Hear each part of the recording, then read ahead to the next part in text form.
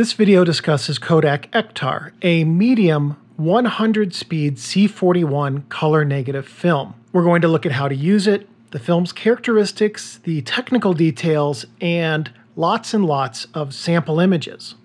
I get asked a lot whether or not I like Kodak Ektar, and I know there are reviews that are positive and there are some that are negative, but I'm going to end your suspense right now. Ektar is my favorite film stock ever made, and that's going to make the rest of this review fairly positive.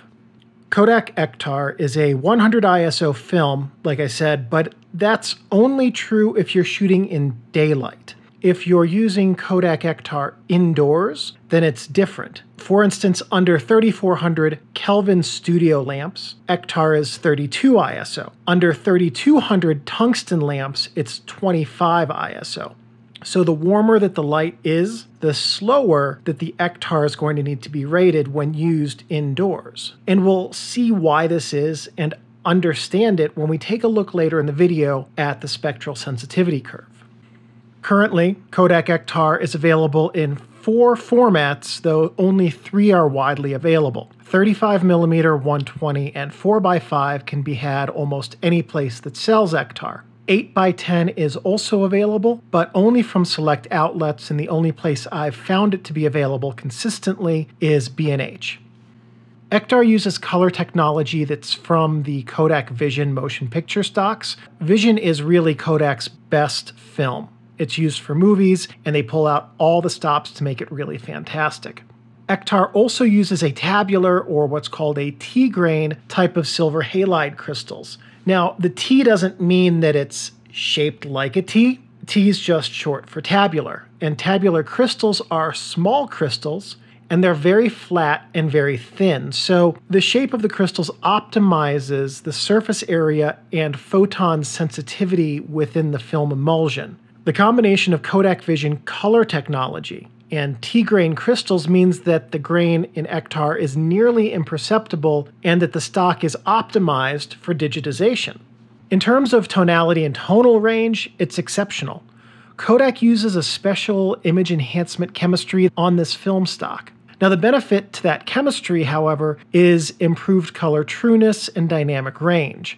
To my eye, the colors on Ektar are the most true of any film I've ever used, which is to say they're not pale, they're not oversaturated, they're not garish. They're very real to the way my eyes, at least, see colors in the real world. In terms of acutance, on Ektar it's exceptional. Kodak has some proprietary DIR couplers. I don't know what DIR stands for. But the, in this emulsion, according to Kodak, those couplers lead to fine detail with distinct edges. DIR couplers in general are a compound that's used in film emulsion that diffuses within the film emulsion during development. Their job is to inhibit development, which leads to more even exposure results and greater latitude. Now, I'm not entirely sure how the DIR couplers in Ektar improve detail and edge clarity. But according to Kodak, they do that, and they should also be responsible for Ektar having amazing latitude and very even exposure across the entire frame. In terms of contrast, it might seem that the DIR couplers would sap some of it and leave Ektar kind of flat, but that's not the case, and contrast is exceptional. Ektar has great contrast, yet it retains recoverable data in the shadows, especially, and in highlights to a degree. Having worked with Ektar scans and noting that that scans, the, the act of scanning reduces a lot of dynamic range and reduces a lot of shadow detail from the film. I've still been very impressed with how many shadows are recoverable in Ektar even with the scans. Now, what that means is if you're able to print color film in a darkroom, or if you can digitize it with a DSLR and then process it in post to true up the colors, you're going to have even greater latitude with controlling your shadow and highlight exposure in this film. In terms of sharpness, again, Ektar is exceptional. Ektar is the sharpest color film I've used, and part of that is because of the T grains, and part of that's because of the DIR couplers, and also part of that is because the emulsion is a cubic type for dynamic range, which is also called gamma. On Ektar, it's exceptional. As I noted earlier, the emulsion is a cubic type using the tabular T or T grain crystals. and the emulsion has DIR couplers in it. The crystals and the emulsion and the couplers, that team works well because silver halide crystals have limited light sensitivity. To enhance sensitivity, sensitizing dyes are added to the emulsion. That's commonplace with films. In Ektar, those dyes adsorb onto the film, not absorb, but adsorb onto the film. These dyes are sensitized, which means they are receptive to light in a specific wavelength range. This is how different films have different sensitivities to light waves, the dyes in the film. This holds true for black and white as well as color film, by the way. Anyway, the point of this is that to increase sensitivity, surface area specifically of the silver crystals needs to increase. The tabular grains increase that surface area in as much as it can be increased with modern technology, and the cubic arrangement in the emulsion increases surface area further. This increased surface area increases light sensitivity and color receptiveness based on the dyes that are on the crystal's surfaces. Most of the reviews that I read before completing this video called Ektar a warm film. I saw some that rightly acknowledged that it's a cool to neutral film. Uh, and it could also just be that the uh, search algorithm was giving me lots and lots of reviews that said it was a warm film. But as we'll see in the spectral sensitivity curves, that warm categorization is not actually true. I suspect that the reviews that state that this is a warm film do so because Ektar has a very high blue sensitivity and a broad neutral spectral table in the mid range and very low red sensitivity. So in Photoshop, hitting Control Shift B to auto color the image will jack up the red tones because there are so few inherent to the image, and it needs to counterbalance, Photoshop needs to counterbalance the blues and the greens that auto toning gives the film an artificial red cast that it doesn't have when it's scanned neutrally. So, reviews that call this a super warm film should be viewed through a lens of, hmm, perhaps that reviewer didn't really use the film and the photo editing software exactly as they were designed to be used. Ektar has a number of good uses, in my opinion. I think it's amazing for portraits, and when it comes to portraits, this is one of those times where the red, the low red sensitivity and auto toning can really work well because you'll get a neutral tone back, but you can in a, in a different in adjustment layers increase the warmth, uh, do a partial opacity blend, make the images a little bit warmer, bring out some more flesh tones. Anyway, Ektar is an amazing tool for portraits and has a lot of flexibility to give you a lot of editing range it's also amazing for landscapes and exterior architecture photos. Studio and product work under the right circumstances are great options for Ektar if you compensate for the reduced sensitivity under warm tone artificial light and also pop a gentle color correcting filter onto the lens to counterbalance the light's color. Ektar is not an ideal Star Trails film, and it's a worse film for astrophotography because the film color shifts to the green and cyan range under ultra long exposure conditions. Let me revisit portraits for a minute. Uh, there are people who will say portraits, but the pink cast. Ektar does make white folk look pink, as in it makes white folk look like they just stuck their faces in a snowdrift for 30 minutes. Yeah, it does. So, this magenta shift is not some kind of intrinsic anti white film racism, but a physical response in the film to pale skin and white tones. But it doesn't happen with white backgrounds like in a studio. I suspect that this magenta shift is happening because pale skin is still filled with capillaries, and pale skinned people's skin won't absorb as much light as darker skin will. So what happens is that when a pale skinned person's face or arms or whatever gets sunlight, the light enters the skin, and then all of the colors except for the reds are absorbed by the blood vessels. And then the light that leaves from the face, which has been reflected by those capillaries, reaches the film, and the film hones in on that, that pinkish red tone.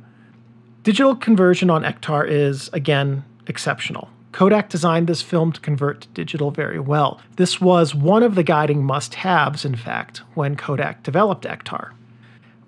we're going to look at the spectral sensitivity curve and understand what it's telling us. And what it tells us is that Ektar is biased towards cool tones. Note in the curves how much greater the cool tone sensitivity is compared to the warm tones. What this curve tells us is the higher the point on the curve, then the more sensitive the film is to that color. Now also note that the cool tones, also note that Ektar is more sensitive to cool tones than to greens and yellows.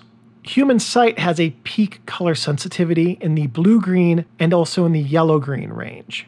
The green plateau for Ektar means that cool tones will prevail if scanned neutrally, and that most people will perceive the images from Ektar as cool if we expose the film to match the way that we see the world. That high blue sensitivity also means that skies will look great and explains why shadows, which are actually dark blue and not black in real life, retain so much detail on Ektar negatives. Now, I noted earlier that Ektar needs to be exposed at 32 ISO and 25 ISO, depending on light color temperature, for studio and tungsten lights. This spectral sensitivity curve explains why. Because the film is less sensitive to warmer tones, the film needs more of that warm tone artificial light to compensate for the reduced sensitivity and allow for a proper exposure.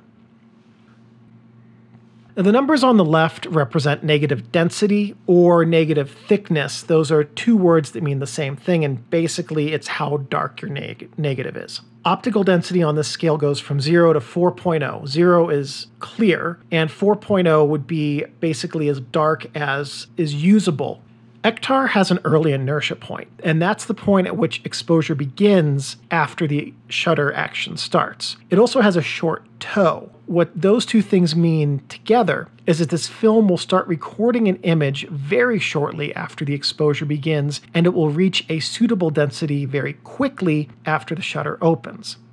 This also explains how Ektar can retain exceptional shadow details. We've talked about it being more blue sensitive, but also because the exposure starts quickly. What that means is if you underexpose part of the negative, which taking a picture with shadows effectively underexposes the shadow portion of the negative, Ektar will still get some detail in that underexposed part, that shadow part, very quickly, which further contributes to the shadows being recoverable.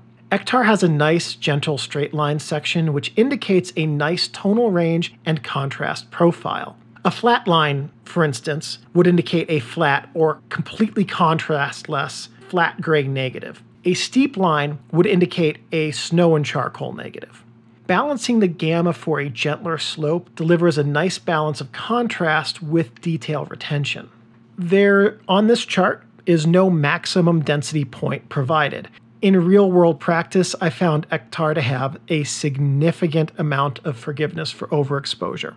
Exposure errors up to around three additional stops of light result in high grain but recoverable images. Uh, I accidentally overexposed a couple of photos by six stops, and the image quality was awful, but the lab was able to scan the images, and the images were recognizable as what I actually took photos of. Kodak doesn't provide reciprocity failure data, but to shutter speeds as slow as a full second, Ektar will need no compensation. Beyond one second, Kodak suggests testing Ektar under your specific conditions. One thing to note is that with very long exposures, there may be color shifts. In my experience, I did not find a need to compensate for reciprocity failure until about four seconds. Beyond that, I simply added a half stop for every additional stop beyond four seconds. For example, a metered 8 second exposure, I would give 12 seconds. A metered 32 second exposure, I would give around 90 seconds. The added half stop per stop is cumulative. In practice, what this means is that you will need to bracket your images if you are shooting longer than a full second. A good idea will be to shoot at the rated exposure and then a set of three images 0.5 stops, one full stop, and one and a half stops over until you get a sense of how Ektar performs with your gear and in your settings. Kodak does not provide exposure latitude data in their datasheet. I found that with te- the testing I did, which was deliberate, was that up to three stops over, the images had increased grain but were still recoverable which means you don't have to worry about your meter being completely perfect. You can use the Sunny 16 rule, you can guess at exposure settings, and as not long as you're not way, way off, over or under, you're probably going to be okay. Shoot it at the box speed.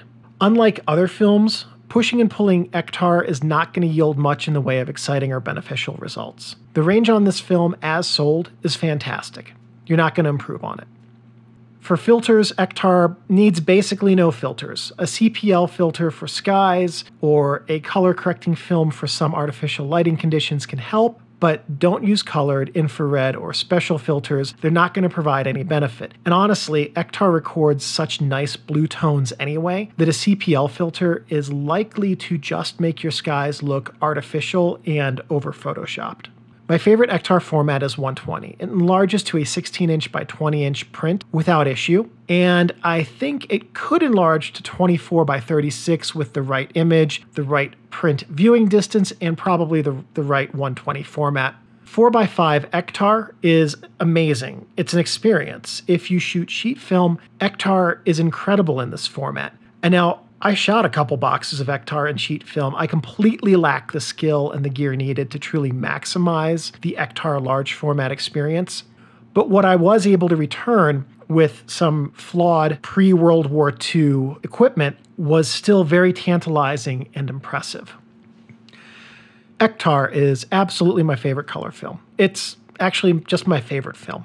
I like it more than Velvia, though I recognize that Velvia has more color saturation. Ektar beats Velvia also on cost and exposure latitude. It's easier to use, it's cheaper to buy and develop, and it delivers images that, for all intents and purposes, rival Velvia for most every use. I've shot both films, Ektar and Velvia, side by side on a number of occasions. The shots from Ektar have come out every bit as well as the shots from Velvia for landscape and architecture. Where Ektar is weaker than Velvia is in portraiture and digitization. Digitizing Velvia is very easy with a DSLR and a RAW file editor. Ektar is not for every situation, nor is it for every use. There are photographers out there who say that Ektar renders all other C41 films and actually all E6 films, maybe except Velvia, as obsolete for landscapes.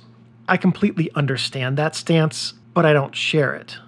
I love my Sennheiser headphones. They're amazing, they're the best headphones I've ever owned. But they don't make my Sol Republic headphones obsolete. Ektar has a look. It has a good look, but it is only one look. Not all scenes call for nor benefit from the Ektar look. Ektar came about as Kodak's direct response to digital photography and a need to invent and market a film that looks like the best digital images, but that can be used in 120 and sheet film formats.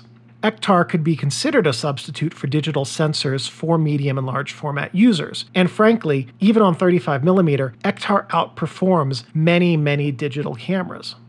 If I was told I could only ever shoot photos on Ektar for the rest of my life, I think I would be okay with that. It's a great film, the results are consistent, they're predictable, and of very high quality. Those are the three greatest things that a film can do on the technical side.